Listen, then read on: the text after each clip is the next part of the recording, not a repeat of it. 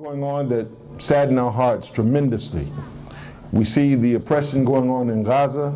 We see the oppression going on in, in, in, in Iraq and in Pakistan and Afghanistan and Kashmir, many, many places, in Somalia.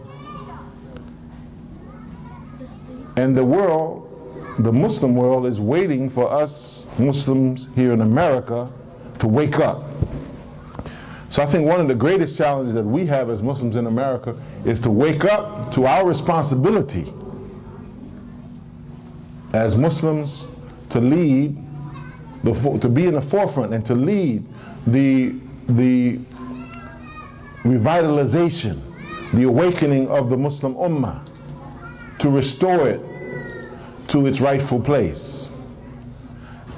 Oftentimes in our travels, alhamdulillah, we meet people, and even online, we have a chat room called chatislam.com. We encourage you to visit sometimes, www.chatislam.com. We have Muslims come, and even non-Muslims come to this room from all over the globe.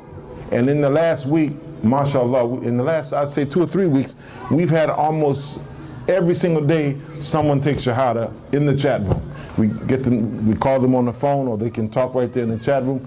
And they come for different reasons. They come to find out about Islam. Last week we gave a Shahada to a person in Athens, Greece. Athens, Greece. Some of us never even heard of Athens, Greece.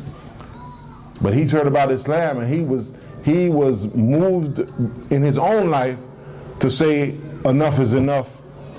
I've had it with Christianity. I've had it with Catholicism. I want Islam. Allahu Akbar.